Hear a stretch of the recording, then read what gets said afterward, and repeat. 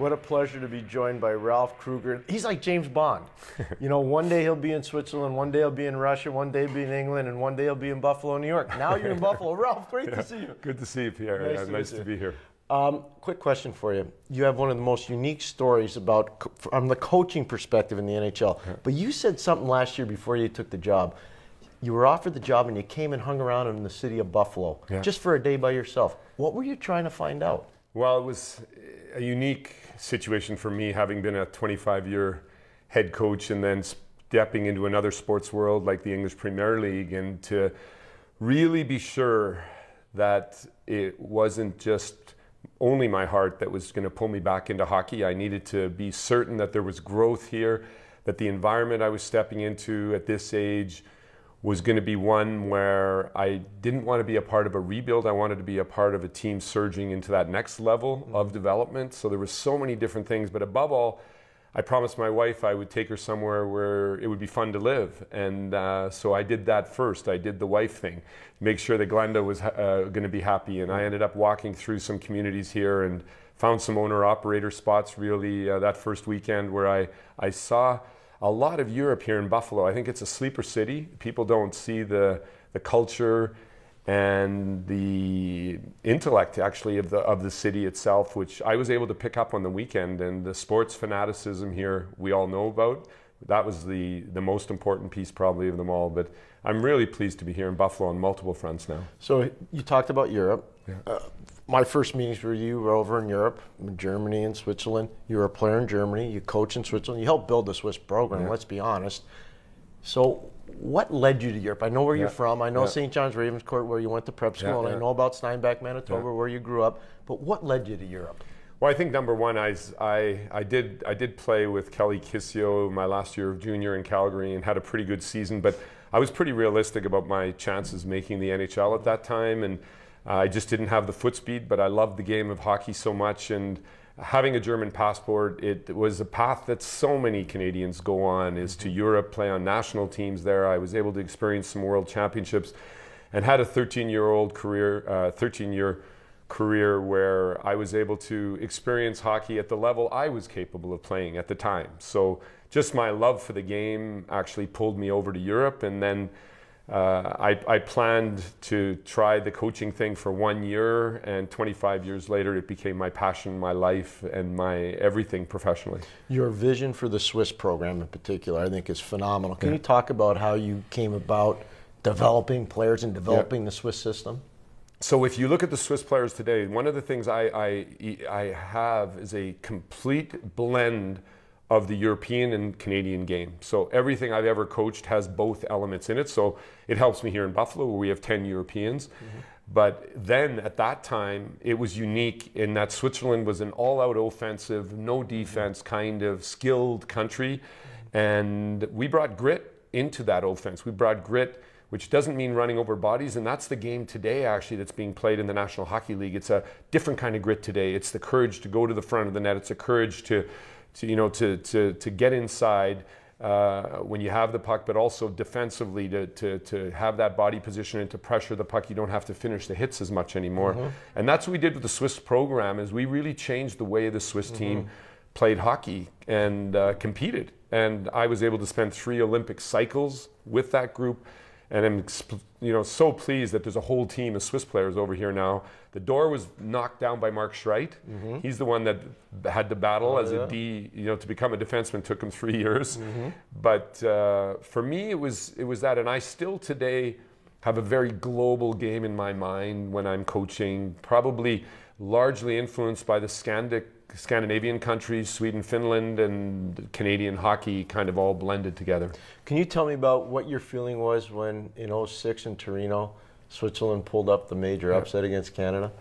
It was the day that Switzerland changed its direction completely. So all the kids playing in the NHL today were between 8 and 12 years of age watching us beat Canada 2 nothing on top, two Paul Paul DiPietro goals. A Canadian guy from Sudbury, Ontario. who, who, who actually helped to change the, the mentality of the program. And it, it was it was a absolutely size it was a seismic shift in the way the Swiss people believed in their potential and what was going to happen. And that game was over and above any game that I was able to be a part of. Uh, what it changed was was the the belief that we could play against top countries in the world and compete with them, and also go to the NHL because Mark still wasn't really a fixed player over mm-hmm. here, Mark Streit.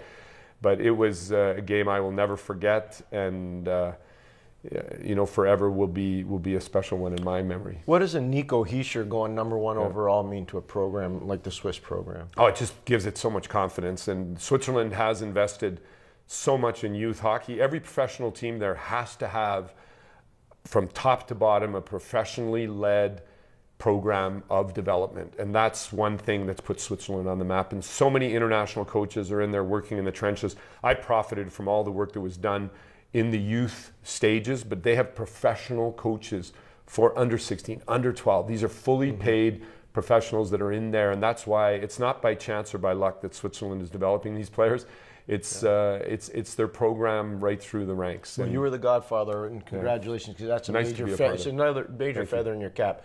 So this is an interesting one. You're the head coach of the Edmonton Oilers. Yeah. Things don't work out, and you leave hockey. Yeah. You leave hockey to go to football, not yeah. American football, no. soccer. Yeah. Ralph, you got to help me out here. Yeah. How how did that help happen? Well, the beauty beauty Pierre is that you know all of us working in sports are, are we have leadership experiences and because of I had two little kids when I started coaching and it was quite frightening actually to be a head coach and knowing the the dangers of the profession and how longevity is not your friend. And so I threw myself into studying leadership and teams in 93, 94 at the beginning of my coaching career. And I just never stopped. And it, it took me onto some really good ex- safaris actually with different companies, with different experiences, all the way to the World Economic Forum, where I was able to become part of a panel for, for five years. And and so it was that growth actually that opened the door to, to, to soccer slash football. It was, um, first of all, the pain of uh, leaving the Edmonton program where I felt we were on the cusp, mm-hmm. but the respect I received from Steve Yzerman and Mike Babcock to hire me 48 hours for uh, Team Canada, mm-hmm. going to Sochi. But that gave me a time to think. And in that time came this leadership opportunity in the Premier League, which was, for me, I thought what a way to grow and learn where you're actually then not involved in the front, but you can still work with the players on the off field kind of mm-hmm. uh, spaces. And so for five and a half years, I was able to grow and learn so much there. And I'm hoping I'm bringing it in here in Buffalo uh, as a new package and a new viewpoint. But it happened by chance because of my my excitement of studying leadership and how to treat people right. I, I just am obsessed with creating cultures and environments where people are treated properly and in the right way and still finding the buttons to push to hold people accountable for. And that's a tough mm-hmm. it's a tough line that we that we are wandering back and forth upon to get players and the people you lead to do that. But i'm still in search for that that um, that process. How much has your style changed as a coach from when you started yes. to where you are right now? A lot. A lot. I I was much more erratic and emotional, and I'm able, in good and bad times, to keep the picture small. I used to always think it was important to speak about end results and about where we're going to be in three to five years. And I've learned as I get older, I'm 60 now, that that will take care of itself if you really are able to spend most of your minutes in the present. Mm-hmm. That yes, we need to know where we're going, the direction should be clear we need to know what happened and look at it quickly, process it, take the lessons with. But more than anything, we should spend most of our life here, and uh, and that's what we're doing in Edmonton right now. And that's what I've gotten much, much, much better at. And maybe it's because of age. I know my lifeline's getting shorter, but uh, above all, I'm a person that's really able to try to find excellence in the moment whatever that moment is and uh, be focused and concentrated on that is the biggest change mm-hmm. and biggest shift for me as a coach where I would maybe come in and speak about if, if and when and there and first place and all that stuff. And now it's more about let's be let's be excellent right now. If it's a day off, let's have an excellent day off. And if it's a game day, let's be bang on for the mm-hmm. game and so on. And it seems to be um, it seems that the players here in Buffalo have embraced that attitude. I know the pain of being fired as a coach in the yes. NHL. I know how I dealt with my pain. How did you yeah. deal with yours when you got fired in Edmonton? Well, first of all, just like I said, people reaching out, like phone calls immediately. Tom Rennie, uh, Mike Babcock, I already mentioned, you know, Hitchcock, and so on and so forth. There were a lot of coaches that reached out.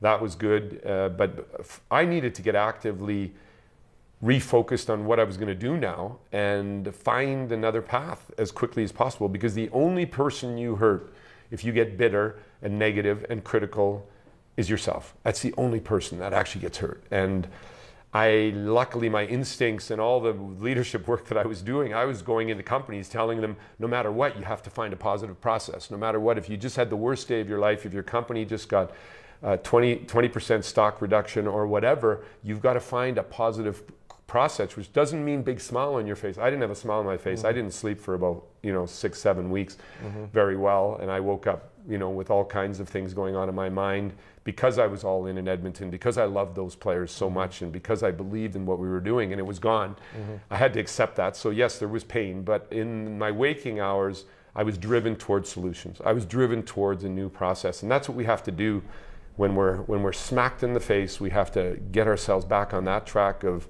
finding solutions, finding new dreams and goals to reach for. And it takes a while when you're so deep in a dream or goal that you're working on it took a while, and Team Canada gave me that, that opportunity. But the hockey school I went through as a coach in that time, you know, with Claude Julien, Lindy Ruff, Hitchcock, Babcock, all of us changing all information with each other, everything on the table with the Yzermans and Hollands and, uh, you know, the leaders that were around us at the time and spending a year in that program uh, deepened. So look at, look at the opportunity I got, Pierre. I mean, wow and then the Premier League. Uh, I would not want to change that with anything. I, I have no craving to go back, but wow, what an experience that was. And that was built really on my attitude. If it would have been negative and I would have been throwing all kinds of darts at the people in Edmonton that maybe made the decisions, that would have just stalled my evolution. So let's go to it. Tell the truth now. You just won a huge game in yeah. Edmonton. Yeah. What was the plane line ride back? Yeah. What was it like? Well, first of all, the players gave me the game puck, which they don't give the coach very often. Yeah. I, I, that meant a lot to me. Uh, the guys uh, understood the value of the game, even though I didn't really speak about it. Uh, they were, they were, they were pleased, and yeah, I mean, I'm not a, I'm not a revenge person, so I didn't have that kind of feeling, but I felt really proud to be the Buffalo Sabres coach that whole day in Edmonton after what happened. And um, on the way back on the plane, you know, there was there was some some fun and jubilation, but you know, the way it is in the NHL, we move on quickly, and I think it's uh, it's in a nice, quiet way that I was able to enjoy that that victory, and back to work here today. What's the best way to describe your relationship with the Pegula family, the owners of the Buffalo Sabres? So when I spent that weekend here in May, first of all, the ice was just breaking and uh, I'm good. I'm good. This is North. like Manitoba. I'm good. I, I, grew up in Winnipeg, so uh, Steinbach slash Winnipeg, so I, I, know all about cold. So people think this is cold. They have no idea. No idea. And uh, you know, I've spent most of my time in Switzerland at 5,000 feet, so so I'm not afraid of the cold. So that didn't scare me at all. What I embraced, I, I've mentioned one thing here already in the podcast, and that's that I really care about being in environments where people are treated properly. Mm-hmm. And it seems more fitting than ever right now in the environment that we're in. And I, when I met and, and have brainstormed with Jason Botterill over the years, it was always the feeling that culture meant more to him than anything. And when I met Terry and Kim, and we spent, uh, you know, we were planning to spend an hour together. It ended up being four. It was just so natural. Uh, we spoke about everything um, on top of the hockey, and I could just feel their love number one for the city and for the people and the fans getting what they deserve here. The dedication they've shown for the Buffalo Bills and the Buffalo Sabres is tremendous. Mm-hmm. But they're just very real. I mean, every interaction I've had with them since then, and I had to deal with a lot of billionaires in my time in the Premier League and a lot of owners in the Premier League and they're just very natural, very real, and come out of the heart. And this was an environment where, I mean, all the options that I had fell away that weekend. Uh, I could have returned to the Premier League. I could have come into another role, possibly in the NHL, but uh, they that was the final push over the line that I wanted to be the Buffalo Sabres head coach and work in an environment where culture mattered above all. Your eloquence is so apparent when, as you talk, eh, which is really unique for a hockey coach. I will tell you. Um, but I watch how you message with your players during the game, and you talked about how you've calmed down Yeah, since yeah. you first started. Yes. And I'm seeing the results in Jack Eichel's play in particular. How did you address Jack Eichel when you took over the job here? Well, it was excellent because uh, our first meeting was in Slovakia, and uh, we planned to have some drinks together, and we ended up, you know, with his with his uh, partner Jack and I, we ended up spending four hours together, and I would say we maybe spoke about hockey for 20 minutes or 25 minutes, and since then it's just been organic. We we don't have uh, hours and hours of conversations. It's just a very natural exchange of body language and eye contact and and some meetings here and there, of course, but. Above all, I felt in him the competitor that he is and the, the hunger he has to lead a team to victory and in the right way. And his individual statistics or what he does in that process are less important for him than the team. So he puts team first, and I really felt that in him right away. And since since that first meeting, it's just been easy. I have to say, really easy. And he's an amazing athlete, an amazing hockey player, but also a person. He's embracing the game without the puck. I believe he will be the most complete player in the National Hockey League when he's done. I his his tracking speed and his game without the puck, his uh, his his willingness to pressure and get it back is as good as any of the top players in the league. So with that offensive skill set comes this this other person, and he he is um, putting that into action. And what an example he is! Works as hard as anybody in practice or on or off the ice. So uh, the relationship is very easy, very natural, very organic, and you know we we look forward to every day together. Ralph, am I overstating it by saying he's a legitimate MVP candidate this year? Oh, for sure. There's no question that he, uh, in all aspects, will be in that circle.